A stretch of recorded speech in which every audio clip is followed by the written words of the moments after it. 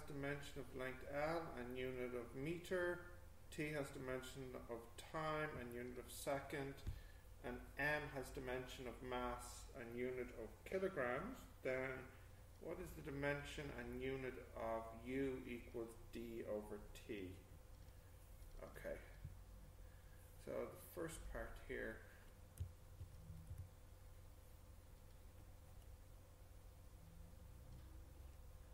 Um, right. So the dimension of U equals the dimension of T divided by dimension of T. And this is a length. And this is a time. And the unit would be meters per second. That's okay, isn't it? Yeah. Alright, so for B, V, um, the dimension of V must be the same as the dimension of U. Um, or, well, if you want, it must be the same as the dimension of U plus AT. Um, and these can only be added together if they're the same dimension, and these must be the same as this, so you could just say it's the same as U, which is also um, meters per second. So that's okay. Now, the dimension of AT must be the same as the dimension of U. So that means the dimension of A is the same as U divided by the dimension of T, which is um, U we said was length per time. So it's length per time square, right? Yeah, length per time. And there's another time there, so it's length per time squared. So that's meters per second squared. yeah. Okay. Next, you have dimension of f equals dimension of m multiplied dimension of a, which will be mass times length time minus 2. So that's um, kilogram meters per second squared. Okay, and lastly, if f if f equals g m1 m2 over d squared, then that means that g equals f d squared over m1 m2 so then that means um, that the dimension of g is the dimension of f uh, dimension of d squared over dimension of m1 dimension of m2 uh, which would be so the f we just had is m l t minus 2 and now the d squared that will be l squared. And then this is an m. And then this is an m so this will cancel with this. So you're left with length cubed. Well yeah okay. Length cubed t minus 2 m minus 1 so that would be meter cubed per second square per kilogram. Something like that. Yeah. Um, how close did you get to getting that now? Not close. not close. No that's okay. Um, what was the difficult part? Where'd you get stuck All right, okay, that's all right. Uh, does it make sense to you now? Yeah, yeah. That's good. Okay.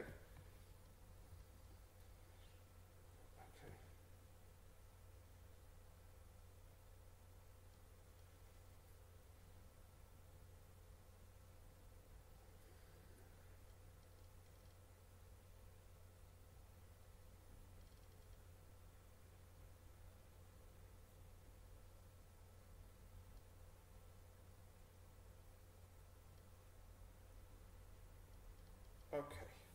Next one. Oh, you need a minute? Yeah, yeah, that's okay. There's no rush.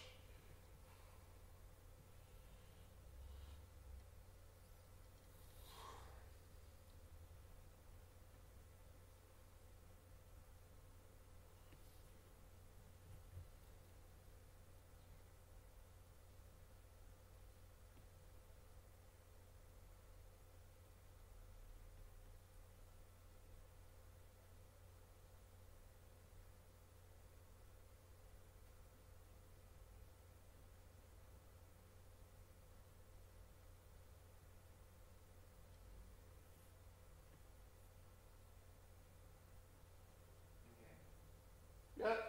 Okay, great. Great.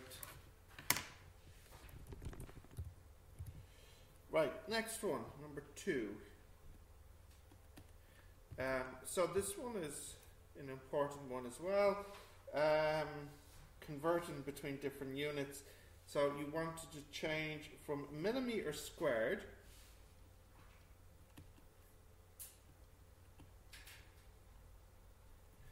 into meter squared. So that would be 6 2, uh, this is A, 62370 millimeter squared. 62370 millimeter squared, which is 62370 0.00 uh, one meter squared. Okie dokie. Now, uh, sorry, and I can, yeah, I have a 0.001 squared times meter squared. So let's see what we get. 62370 times 0.001 squared. So you get 0.06237 meter squared. That's okay, is it? Yeah.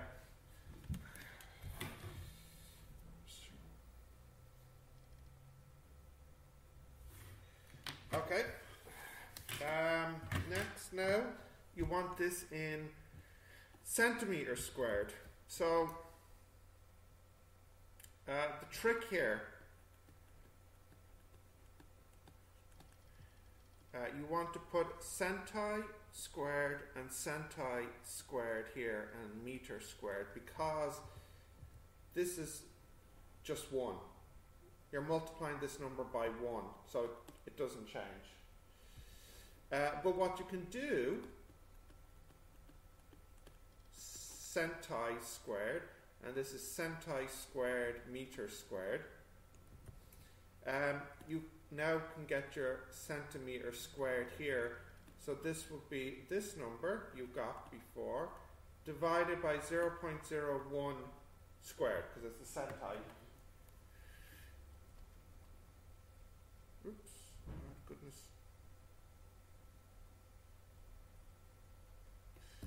Uh, so what did you get? Six, two, three. Good.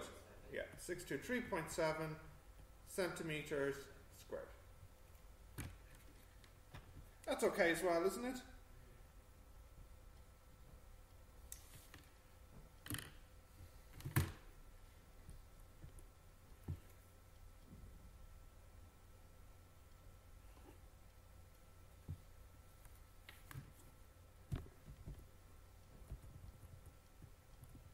Okay, number three now. Um, the mass of hydrogen is 1.67 times 10 to the minus 27. Uh, and hydrogen we can consider it as a sphere uh, of radius 5.29 times 10 to the minus 11 meters. Um, what is the density? So density is mass over volume. Uh, and I give you a formula for the volume. It's 4 over 3 pi r cubed. So that would be 1.67 times 10 to the minus 27 over 4 over 3 pi 5.29 times 10 to the minus 11 cubed. That's okay so far? Yeah? Uh, let's see what we get.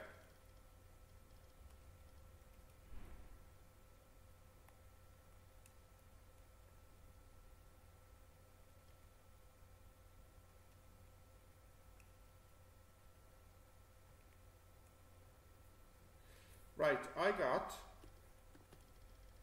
2693.15, so I'll just drop that, uh, kilograms per meter cubed. Did you get something similar or not? Okay, what did you get? Um, seven point five four times ten to the power of negative eighty kilograms. Mm, something sounds wrong there. Do you want to double check your calculation? Do you have your calculator?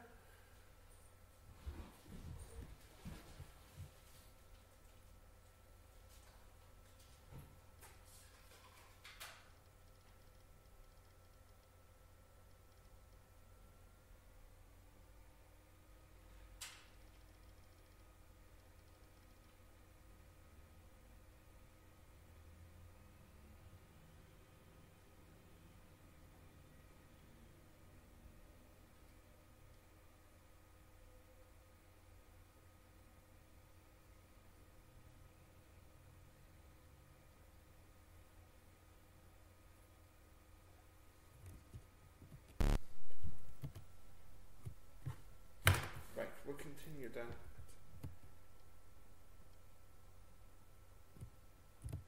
Is this recording? Um, oops. Yeah, it's recording. Okay, so the next part, that was part A. So now part B, um, you want this in grams per centimeter cubed. Uh, so the question then really is change this from kilograms per meter cubed into then uh, grams per centimeter cubed. So, firstly, I'll pull out that kilo, it's a thousand, yeah, g and meter cubed. So that would be 2693,000 grams per meter cubed. And then what I'll do is I'll introduce a um, centi. Well, yeah. I think you know what. Actually, to make it a bit clearer, I'll just put the meter cubed underneath the G. Grams per meter cubed, like this, and then I'll introduce here a centi cubed centi cubed. So this would be two uh, six nine three zero zero zero times centi cubed grams per centi cubed meter cubed.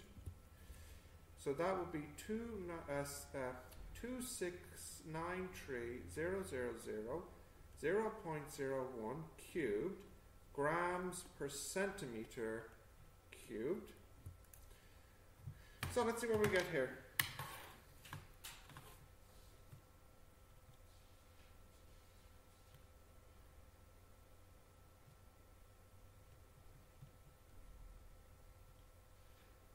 Um,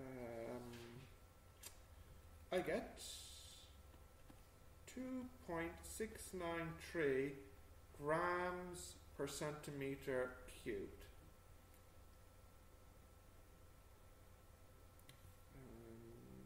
Two six nine three, zero point zero one cube. Yeah. Yeah? Okay.